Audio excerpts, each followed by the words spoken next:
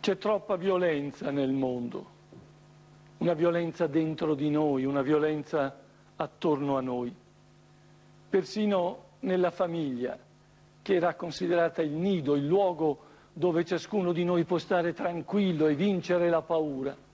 Ebbene, persino la famiglia talvolta sembra un ring, un ring dove si lotta, dove si fa la guerra.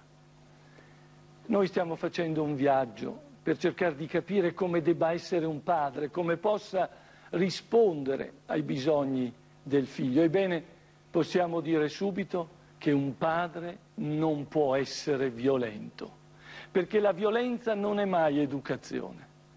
E allora eh, bisogna capire, bisogna che un padre abbia la percezione di quali siano gli effetti che la violenza provoca sui figli.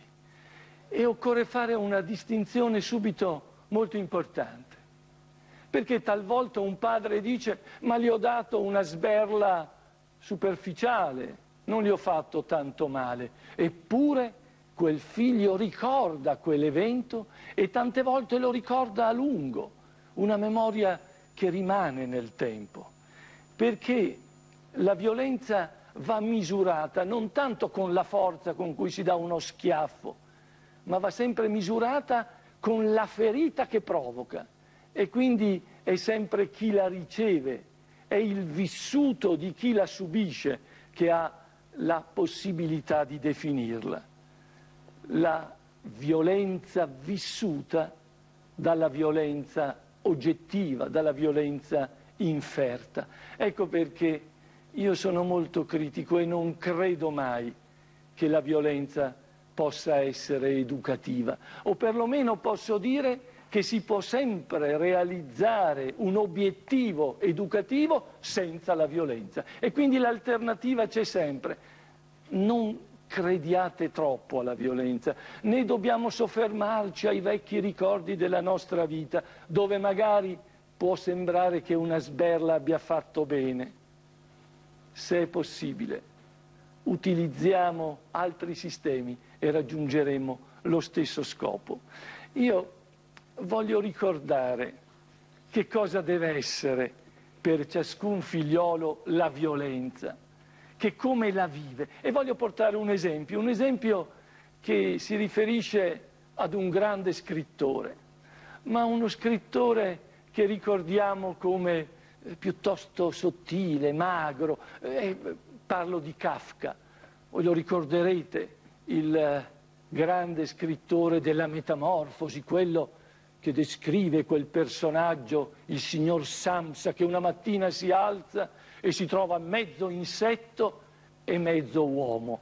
E quindi ecco la metamorfosi che io credo che sia una metafora anche proprio dell'adolescenza, perché nel passaggio dall'infanzia all'adolescenza uno si ritrova mezzo bambino e poi si ritrova mezzo adulto, mezzo mostro. Ebbene, Kafka nel 1919 scrive una lettera, la lettera al padre. Pensate, ha 36 anni quando la scrive e poco dopo, cinque anni dopo, morirà. Una, una persona di una sensibilità straordinaria. Io ricordo sempre quanto, quando leggevo che sul letto di morte prega un amico di distruggere tutto quello che ha scritto perché ha l'impressione di non aver fatto nulla di significativo. È forse uno dei più grandi scrittori che noi oggi abbiamo. Ebbene, scrive questa lettera al padre e quindi è già, è già quasi adulto, vicino alla morte, e sente che quel padre l'ha fatto soffrire. Però mette una premessa e dice, ti prego di non dimenticare mai che io non penso neanche lontanamente ad una tua colpa. Insomma, è come dicesse adesso ti racconto cosa mi hai fatto soffrire, però non ritengo che tu sia colpevole, proprio perché fa la distinzione, forse tra la tua intenzione, sei stato violento per educarmi, ma quella violenza in me ha creato solo delle forti ferite, delle lesioni che non ho ancora eh, non ho ancora dimenticato. Ecco quindi queste due queste, questa divisione, queste due violenze, la violenza vissuta da chi la subisce e la violenza di chi la dà. E ogni padre deve preoccuparsi di come vive la violenza quel figliolo. Scrive Kafka al padre, tu un bambino lo sai trattare solo secondo il tuo carattere, con la forza, rumore e scoppi d'ira. E nel mio caso il sistema ti pareva tanto più opportuno in quanto tu volevi fare di me un ragazzo forte e coraggioso.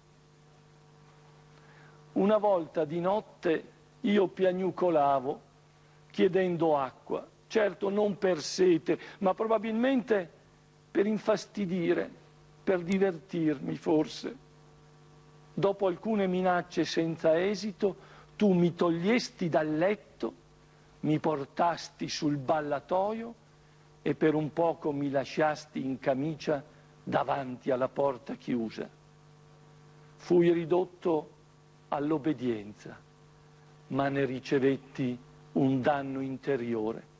Ancora per anni soffrii del tormento e del tormentoso pensiero che mio padre, il gigante, la suprema istanza, poteva venire quasi senza motivo nel cuore della notte e portarmi sul ballatoio e che io dunque per lui ero meno che niente.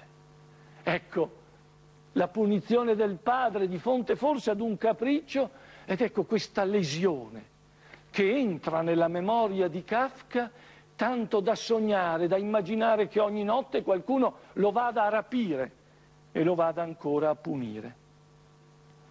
Ecco le due sensibilità, ecco le due sensazioni. E bisogna sempre, quando noi immaginiamo che un gesto di violenza possa essere un gesto educativo, beh, dobbiamo immetterci per un momento dentro quel bambino, dobbiamo chiederci se io fossi là. Come prenderei, come prenderei quella sberla, quel gesto, perché appunto tutto non finisce con l'atto di violenza, perché quell'atto di violenza diventa memoria e ciascuno se lo porta dentro e se lo può portare dentro a lungo. Il, la violenza, il fatto di poter usare violenza e questo grande invito padri non siate violenti. Ebbene, non significa che si debba lasciar fare.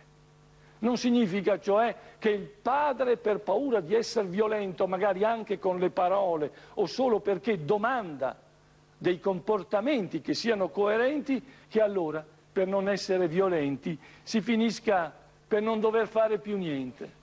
No, occorrono dei principi perché senza principi non c'è un padre e senza un padre è impossibile educare. E qui a dirlo non sono i moralisti, ma è, è Freud, insomma il padre della psicoanalisi, uno che ha quindi lavorato con le persone, che ha lavorato scientificamente. Ebbene, Freud introduce un termine che è molto importante, che si chiama superio, superio, ed è proprio nel superio che identifica il padre.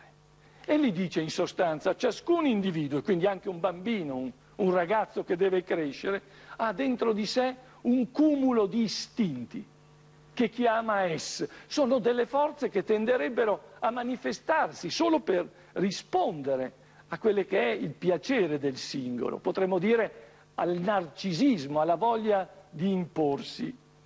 Ebbene, deve essere regolato, altrimenti tutta questa voglia che ciascuno avrebbe di mostrare se stesso finirebbe per andare fuori regole. Quindi ecco che occorre un superio. Il superio è appunto la legge, è il padre che dice questo non lo puoi fare perché non esisti solo tu al mondo, ma esiste una società. Insomma, è come se in un'orchestra il violino volesse suonare senza tenere conto che esistono poi invece gli altri strumenti, i fiati, la tromba. E allora c'è il superio, il padre, che in qualche modo dice questo non lo si può fare, oppure questo lo si può fare. Freud era, era, un, era un, grande studioso, ma stato, era di credo ebraico e quindi in questo superio trova in fondo non solo il proprio padre, ma trova Yahweh, il grande, il Dio, potremmo definire, dell'Antico Testamento. Ebbene, ed era un Dio che alcune volte puniva, un Dio della legge, ti do la legge e la legge la devi seguire e se non segui la legge io ti punirò. Ecco, in fondo il superio è una istanza rigida, qualche cosa che si impone.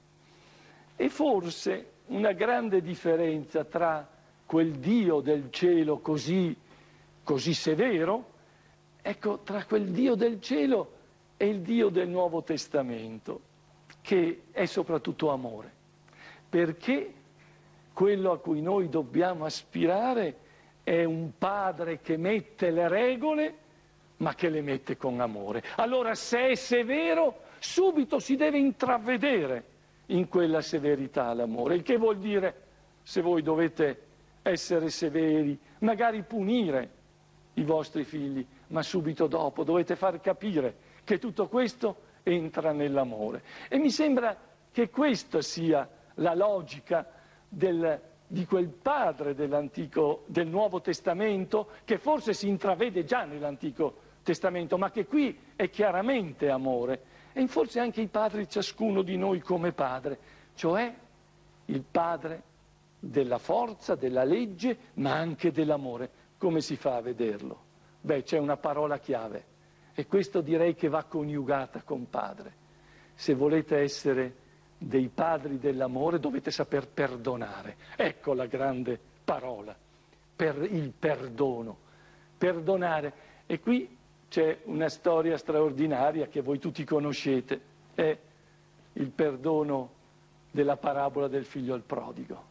È un padre straordinario un padre straordinario perché ha un figliolo che vuole la sua parte, lascia la casa e nessuno sa poi dove sia andato. Forse è un figlio perduto, forse è un figlio morto, ma quel padre lo aspetta sempre e guarda lontano da casa per vedere se lo intravede. Finalmente lo vede, gli corre incontro e non dice niente, non gli chiede dove sei stato, lo abbraccia e gli dice bentornato e ordina che si faccia festa. Tant'è che il fratello che invece era rimasto nella casa gli dice ma come, come padre, io che sono rimasto qui sempre con te, non ho mai goduto, non hai mai fatto per me una festa così grande e qui dai ordine ai servi di uccidere il vitello più grasso. Ecco, il padre invece sa che il primo segno dell'amore è perdonare e in qualche modo fare festa perché è ritornato dentro casa. Quindi ecco l'amore, ecco l'amore come caratteristica ancora del padre. E non bisogna cercare altre caratteristiche, non servono i padri tecnici, i padri despota, i padri che appunto vogliono solo mostrare la loro forza, ma se si vuole imporre delle regole, bisogna saper amare e bisogna saper perdonare. E se voi ci pensate, tutto quanto io vi ho detto è incompatibile con la violenza, perché l'amore non è mai violenza, è regola, è stabilire delle regole, ma mai, assolutamente mai, rompere quel legame sentimentale che lega il figlio al padre. E allora cerchiamo di evitare la violenza. E io voglio raccontarvi una piccola storia, la storia di un bambino. Un bambino che ha un padre disattento, un padre che lo guarda poco, un padre severo. Torna a casa e in fondo esprime la propria rabbia su questo bambino e lo picchia. E questo bambino non riesce a capire il perché abbia meritato di essere punito. Ma tuttavia lui ha il desiderio di vedere quel padre e si accorge che la presenza che il padre fa nei suoi, nei suoi confronti è per picchiarlo. Insomma, è come se recuperasse il legame del padre attraverso la violenza.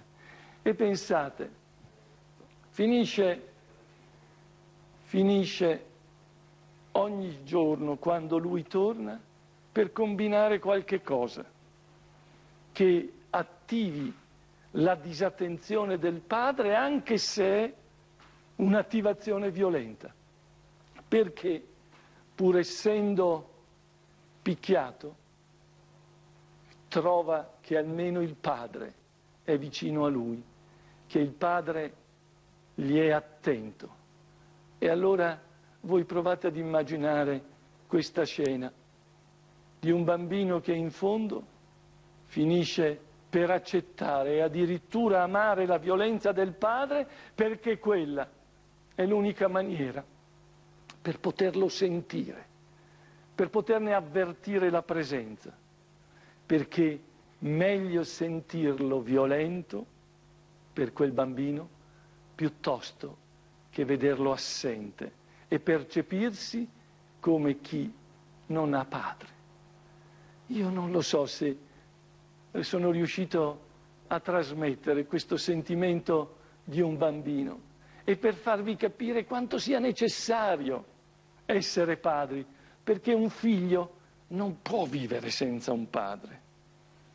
Pensate, è talmente importante il padre che si può amare un padre violento purché ci sia. Ecco quindi che la violenza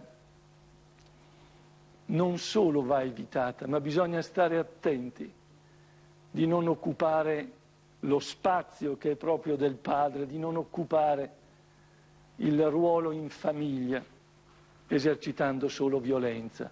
E allora ecco l'immagine del padre che arriva a casa la sera e che è sempre stanco e che entra e dice non parlatemi di niente, perché oggi ho avuto una giornata impossibile e subito accende il televisore e sta attento al televisore e non bisogna disturbarlo perché quello che racconta il televisore è certo più interessante di un piccolo problema di un figlio.